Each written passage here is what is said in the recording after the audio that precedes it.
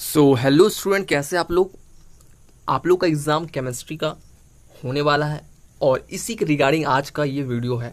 जैसे कि आप लोग देख सकते हैं first semester diploma engineering examination तो हम लोग यहाँ पर पिछले पाँच से छः साल का क्वेश्चन पेपर हम लोग यहाँ पर देखेंगे और प्रूफ के साथ हम लोग ये टॉपिक को क्वेश्चन को चूज़ करेंगे, जो कि आप एग्ज़ाम में रिपीटेडली आता है और आपको लाइव मैं दिखाऊँगा।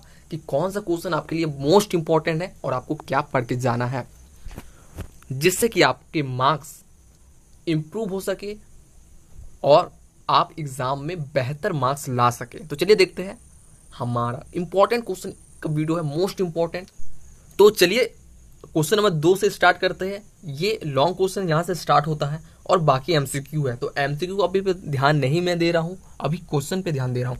तो यहाँ पर पहला क्वेश्चन आपका देख रहा है define electrovalent and covalent bond with suitable example and different between them और उसको डिस्टिंग्विश करना है, उनके बारे में डिफरेंस बताना है। फिर आपका क्या राइट इलेक्ट्रॉनिक कन्फिगेशन तो आपको इलेक्ट्रॉनिक कन्फिगेशन अवह प्रिंसिपल के अकॉर्डिंग आना चाहिए। थर्टी तक आपको याद होना चाहिए। थर्टी एटॉमिक नंबर तक आपको एकदम पूछा ही जाएगा। तो यहाँ पर आप देख सकते हैं C U C R C L और सी ए तो ये आपका 16 मार्क्स का क्वेश्चन था। फिर आपका आता है शॉर्ट नोट्स तो शॉर्ट नोट्स में आप यहाँ पर देख सकते हैं। फेराडेज लॉज ऑफ़ इलेक्ट्रोलाइसिस इस पर आपको शॉर्ट नोट्स लिखना है और ये लॉ बहुत इंपॉर्टेंट है।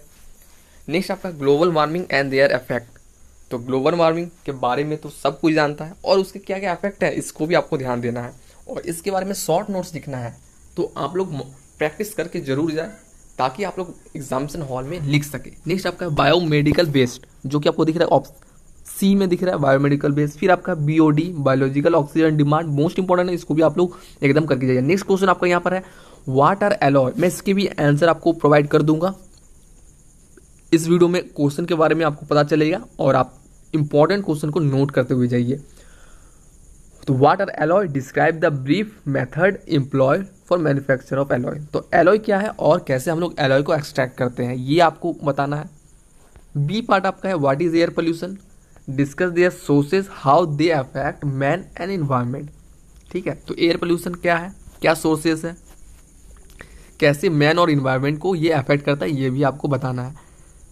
नेक्स्ट क्वेश्चन हम लोग यहाँ पर देख लेते हैं most important write the composition and uses of the following alloy अब यहाँ पर brass German silver gun metal इसका क्या कंपोजिशन है? कौन कौन सा मेटल यूज़ हुआ है? ये सब आपको डिस्कस करना परसेंटेज जितना है उसको एकदम लेके यूज़ करना है। ठीक है, इसका एप्लीकेशन सारा इसमें डिटेल में लिखना है आपको आंसर तो कुछ कुछ यहाँ पर मोस्ट इंपॉर्टेंट है, जैसे जर्मन सिल्वर हो गया गन मेटल हो गया ब्रास हो गया, ये सब मोस्ट इंपॉर्टेंट एलॉय है। नेक्स्ट है bring out the difference between thermoplastic thermosetting plastic discuss engineering application of plastic most important है, ये पेपर में आपका आने वाला है। आप लोग इसको लिख लीजिए कहीं पर। मैं ये गारंटी लेता हूँ, ये आपका पेपर में आएगा। नेक्स्ट है discuss briefly the process of vulcanization of rubber तो रबर का वल्कनाइजेशन में क्या प्रोसेस है? ये भी आपका मोस्ट इंपॉर्टेंट क्वेश्चन है। हर बार एग्ज़ाम में इसको पूछा जाता है। डिफरेंस बिटवीन नेचुरल रबर और सिंथेटिक रबर इसके बाद आपको यहाँ पर बी में आपका न्यूमेरिकल्स है।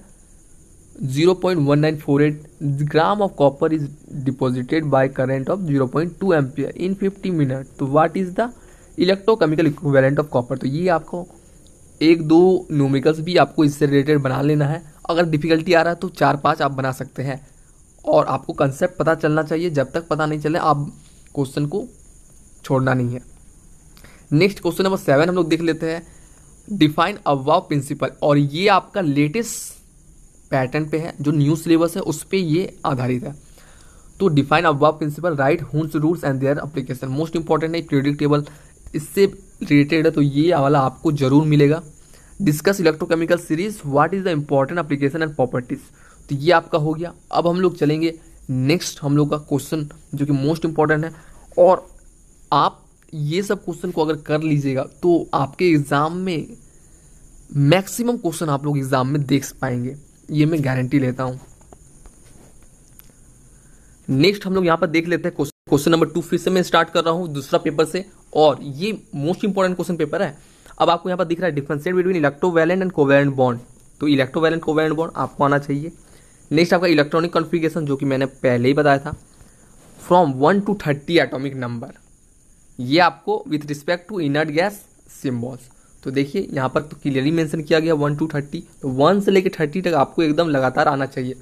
आगे भी आप पढ़ सकते हैं, लेकिन थर्टी तक मिनिमम आपको आना चाहिए। ये मैं बताना चाह रहा हूँ एटॉमिक नंबर फिर आपका Arrhenius theory of ionization and degree of ionization ठीक है? Explain concept of reduction potential and oxidation potential ये आपका एक क्वेश्चन हो गया। एक्सप्लेन पॉल्यूशन तो पॉल्यूशन आपको याद करना है, उसी में आपका एयर पॉल्यूशन वाटर पॉल्यूशन जितने पॉल्यूशन है, वो सारा आ जाएँगे। तो पॉल्यूशन से रिलेटेड क्वेश्चन ज़रूर रहेगा। ये आप ध्यान में रख लीजिए, लिख लीजिए, कहीं पर नोट करके लिख लीजिए। टाइप ऑफ़ पॉल्यूशन इसके बाद आपको पॉल्यूशन से ही पूछेगा कि क्या क्या इसका कंट्रोल है कॉज है, क्या अफेक्ट पड़ता है इन्वायरमेंट में, और क्या क्या होता है। तो सारा पॉल्यूशन एक टॉपिक है। आपको अच्छे से पढ़ लेना है इसको। क्या पॉल्यूशन है, क्या टाइप्स है और क्या कॉज है, क्या इसका कंट्रोल है? सारा आपको डिटेल में मीन्स एक कंप्लीट पढ़ लेना। ये नहीं किसी पॉल्यूशन के बारे में पढ़ ली है। व्हाट इज़ पॉल्यूशन और टाइप्स ऐसा नहीं। पॉल्यूशन पढ़ना है, क्या टाइप्स है वो पढ़ना है क्या क्या होता है, कैसे कंट्रोल कर सकते हैं? इतना डिटेल में आपको पढ़ना होगा और वो आपको लिखना भी होगा। तभी आपको यहाँ पर मार्क्स मिलेंगे सही से। ये आप लोग अभी डिप्लोमा में है। टेंथ या नाइन का पेपर नहीं है आपका। चलिए प्रीवियस ईयर के कुछ रिपीटेड क्वेश्चन यहाँ पर देख लेते हैं। यहाँ पर आप लोग देख सकते हैं what are quantum number types of quantum number तो आपको quantum number Hund's rules aufbau principle ये सारा कॉन्सेप्ट आपको क्लियर होना चाहिए। अब यहाँ पर देख लीजिए डिफाइन पॉल्यूशन पॉल्यूशन कितना रिपीट हुआ है? आप वीडियो में अगर शुरू से देख रहे हैं तो आप समझ सकते हैं कि कौन सा क्वेश्चन रिपीट हो रहा है। स्किप कीजिएगा तो आपको पता नहीं चलेगा कौन सा क्वेश्चन रिपीट हो रहा है, क्या नहीं हो रहा, क्या इंपॉर्टेंट है। वीडियो को पूरा देखिएगा तभी आपको पता चलेगा। और आपका वीडियो में कोई भी आप नॉट कोई भी ऐसा बात नहीं है जो कि आपके एग्ज़ाम से रिलेटेड नहीं है। तो पॉल्यूशन से आपको यहाँ पर हो गया डिफाइन पॉल्यूशन इफ़ेक्ट क्या इफ़ेक्ट करता है इन्वायरमेंट में एनिमल में प्लांट में, ये सारा आपको बताना है। नेक्स्ट आपका है डिफाइन बीओडी एंड सीओडी तो ये दोनों आपको इंपॉर्टेंट है, आप लोग इसको पढ़ लीजिएगा। एक ही साथ पढ़ना है बीओडी और सीओडी को डिफ्रेंशिएट में पढ़ लेंगे, उसी को आप लोग अगर अलग अलग आएगा तो आप लोग वहाँ से भी लिख सकते हैं। नेक्स्ट है कंपोजिशन एंड यूजेज ऑफ़ तो यहाँ पर आप लोग देख सकते हैं ब्रास गन मेटल ब्रॉन्ज। ये इंपॉर्टेंट मेटल एलो है तो ये रिपीटेडली पूछे जाते हैं। तो इनको करने के बाद ही आप कोई और मेटल या फिर ऑल एरॉय को चूज़ कीजिएगा। नेक्स्ट आपका है discuss lustre ductility and malleability ये सारा प्रॉपर्टीज़ ऑफ़ मेटल है तो मैकेनिकल प्रॉपर्टीज़ ऑफ़ मैटर आपका पूछ सकता है। मैटर का मेटर का बहुत सारा प्रॉपर्टीज़ है। कम से कम दस प्रॉपर्टीज़ है तो दस वो आपको याद रखना चाहिए। ये तो तीन ही आपको दे दिया है, लेकिन आपको दस याद होना चाहिए। अगर आपके पास दस का सॉल्यूशन नहीं है या फिर आंसर नहीं है तो आप कमेंट में ज़रूर बताइए आंसर आपको प्रोवाइड किया जाएगा, लेकिन आपको याद करके जाना है। फिर है वाट आर प्लास्टिक्स प्लास्टिक क्या है? Formation of plastic by addition and condensation तो दो प्रोसेस है एडिशन और कंडेंसेशन और एग्ज़ाम्पल के साथ आपको करना है। और थर्मोप्लास्टिक थर्मोसेटिंग प्लास्टिक ये जो वर्ड मैं बता रहा हूँ, ये बहुत इंपॉर्टेंट है। क्योंकि आपको पता रहना चाहिए कि थर्मोप्लास्टिक क्या है थर्मोसेटिंग क्या है, और इसमें क्या क्या एग्ज़ाम्पल आते हैं। अब देखिए, आपका शॉर्ट नोट्स शॉर्ट नोट्स आपको फिर से आ रहा है, और शॉर्ट नोट्स में आपका, यहाँ पर देख सकते हैं Faraday laws of electrolysis most important ये आपका, लिख लीजिए, ये क्वेश्चन में आ रहा है, ठीक है। Next depletion of ozone layer greenhouse effect, common common चीज़ है जो कि आप लोग पढ़ते हुए आ रहे हैं। प्रिवेंटिंग इन्वायरमेंट मैनेजमेंट ये सब क्वेश्चन आप लोग खुद से भी सोच के लिख सकते हैं। ऐसा नहीं कि आप, आपको अगर कुछ पॉइंट नहीं आ रहा तो आप अपने से भी बना कर लिख सकते हैं। कोई इशू नहीं है। चलिए नेक्स्ट क्वेश्चन पे चलते हैं। यहाँ पर नेक्स्ट क्वेश्चन आपको दिख रहा है what is valency distribution between electrovalency and covalency means electrovalent और कोवैलेंट आपको यहाँ पर डिफाइन करना है। तो ये आप डिफरेंट डिफ्रेंसिएशन में पढ़ लीजिएगा electrovalent covalent B O D C O ये सब कुछ डिफ्रेंसिएशन है जो मोस्ट इंपॉर्टेंट है, मैं आपको वीडियो में बताता जाऊँगा। यहाँ पर आप लोग देख रहे हैं explain and differentiate thermoset thermoplast तो ये दो गो प्लास्टिक से रिलेटेड है और ये आपका इंपॉर्टेंट है। तो इसको आप लोग ज़रूर करके जाना। नेक्स्ट है शॉर्ट नोट्स तो शॉर्ट नोट्स आप देख सकते हैं, आपका रबर बैकलाइट पॉलीथीन इसके बाद आपको ग्रीन हाउस इन्वायरमेंट से रिलेटेड आपका क्वेश्चन रहेगा, ये आप ध्यान रखिए। इन्वायरमेंट से related means pollution air pollution या फिर green house effect global warming ये सब आपका रहेगा। बाकी मेटलर्जी और बैकेलाइट एंड पॉलीथीन ये सब भी आप लोग देख के जाइएगा। यहाँ पर आप लोग एक पैराग्राफ पढ़ लीजिएगा सही से और उसी में से आपको लिखना है। शॉर्ट नोट्स है, ज़्यादा बड़ा भी नहीं लिखना है और ज़्यादा छोटा भी नहीं लिखना है। नेक्स्ट सेट आप देख सकते हैं।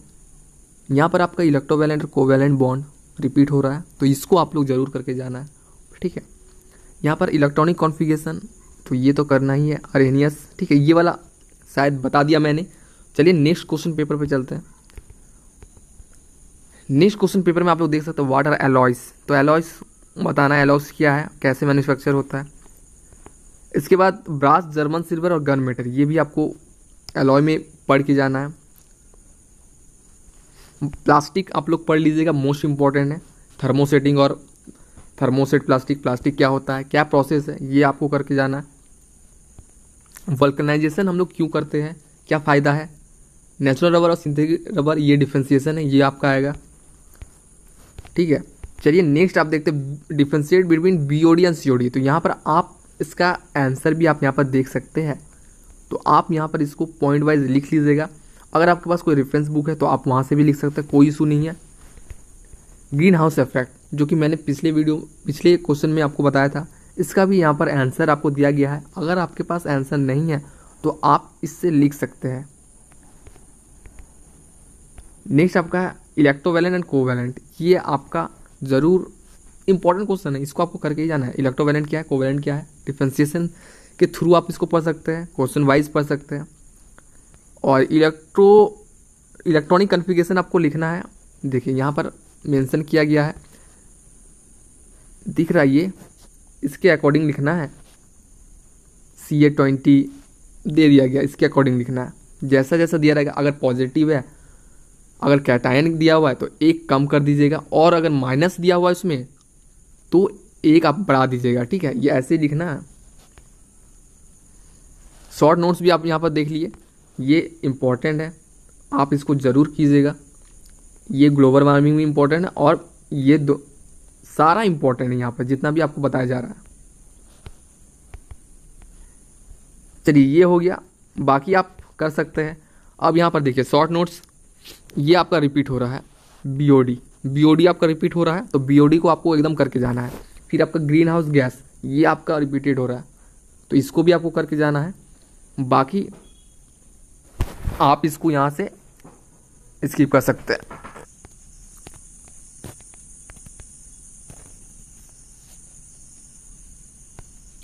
अब यहाँ पर ये आपका क्वेश्चन है, ये आप एक्स्ट्रा पढ़ सकते हैं। Construction and working of dry cell. Next आप यहाँ पर देख सकते हैं क्वेश्चन नंबर यहाँ पर क्या हो गया? Construction and working of dry cell. ये आप पढ़ सकते हैं। इसके बाद इलेक्ट्रोलाइसिस आपको करके ही जाना है एकदम। Explain the electrolysis of aqueous C U S four solution copper sulphate using platinum electrode और यहाँ पर आप देख सकते हैं properties and application of dura aluminium germanium silver तो ये germanium silver dura aluminium gun metal और ब्रास ब्रोंज मोस्ट इंपॉर्टेंट है, इसको आप लोग छोड़ना नहीं है एलॉय में। नेक्स्ट आपका powder metallurgy of alloy making तो एलॉय मेटलर्जी प्रोसेस है, वो आपको पता होना चाहिए। क्या प्रोसेस है टेक्निक्स है, ये आप पढ़ के जाना है।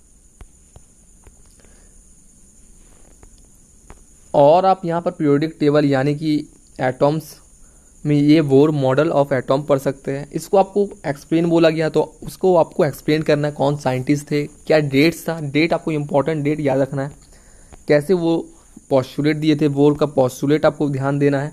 इंपॉर्टेंट है वोर का पॉस्टुलेट ये आपको ध्यान देना है।